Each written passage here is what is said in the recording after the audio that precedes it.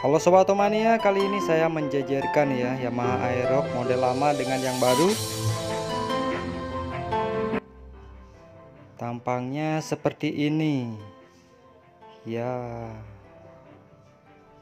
Mirip tapi memang ada bedanya sob. Tentunya sobat tahu kan bedanya dilihat dari sana. Kalau kaki-kaki mirip baik itu velg dan juga cakramnya. Jangan bilang mirip rodanya ya sama-sama bundar. Ya memang betul. Body samping desainnya garis desainnya sama ya dengan yang lama kalau speedometer ini juga mirip desainnya tapi yang baru ini ada sentuhan warna merah. Bagian belakang sekilas. Memang mirip tapi tentunya ada sentuhan yang beda ya.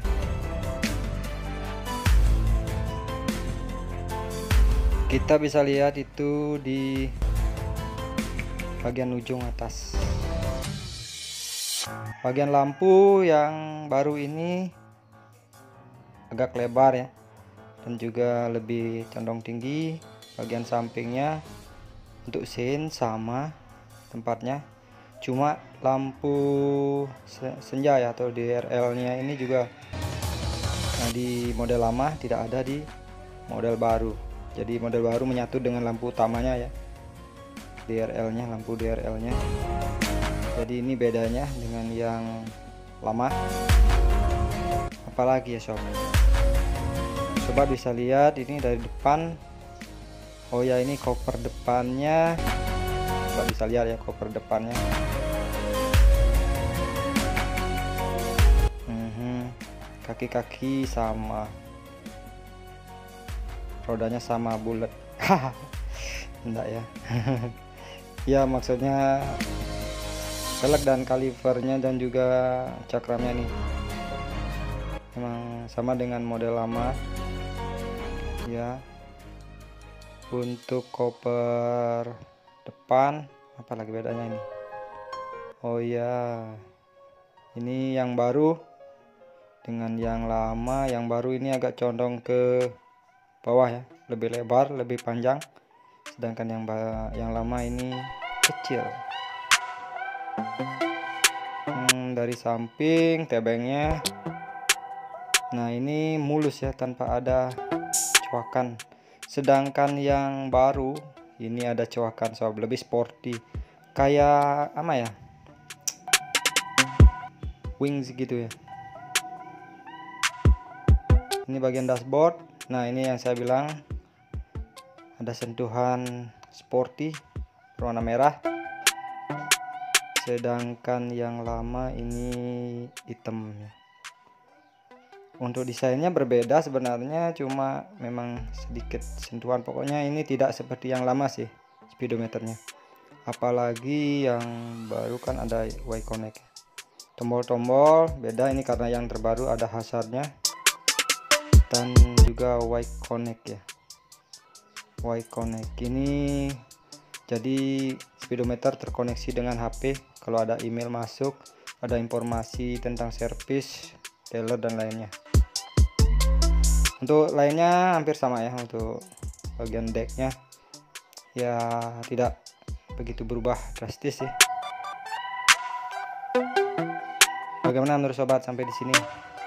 Suka yang mana? Tulis saja di kolom komentar ya. Kalau saya suka keduanya. Apalagi kalau bisa beli keduanya ya. Nah ini untuk desainnya ya. Untuk desain dari cover belakang garis desainnya sama ini pegangannya juga sama. Ini bagasinya ini yang baru ya. Nanti untuk detail spesifikasi baik panjang lebar bagasi juga nanti saya akan cantumkan nanti pada saat editing ya. Hmm. Kita coba intip dari belakang. Oh lampunya ini keren sob. Kayak Batman. Ada lengkung-lengkungnya kiri kanan lengkung. Nah, ujung-ujungnya lebih sporty. Sedangkan yang lama ini lancip beda ya. Balik ke selera aja sih sebenarnya ya sobat pilih yang mana? Silahkan tulis. Sedangkan scene sama ini. Begitu juga di knalpot dan kaki-kaki identik dengan yang lama. Begitu pun belakangnya juga identik ya. Ini coba sobat lihat ya apa kemiripan dan perbedaannya ya antara yang lama dan yang model baru itu. Dilihat dari belakang untuk dimensi sebenarnya yang baru ini dan dengan yang lama hampir sama ya lebarnya. Tapi banyak yang bilang yang baru kelihatan kecil enggak kok. Baru dilihat langsung sama. Cuma kalau dari ukuran dimensi lebih pendek yang baru. Oh ya saya juga tak lupa berterima kasih pada wajah motor kelungkung timnya ini kompak banget solid banget ya saya minta untuk dijajarin langsung petugasnya datang dan mau jajarin ya terima kasih nih saya apresiasi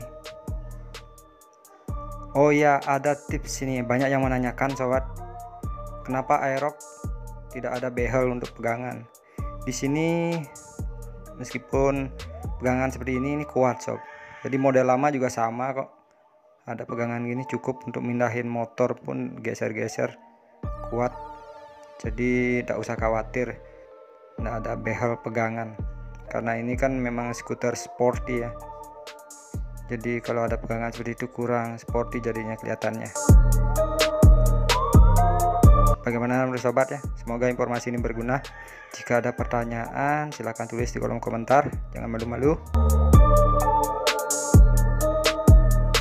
ya ini sama pegangan seperti ini jadi arok lama pun seperti ini jadi belum ada keluhan sama ini masih oke-oke aja jadi tidak perlu behel pegangan lagi sehingga tidak mengganggu estetika.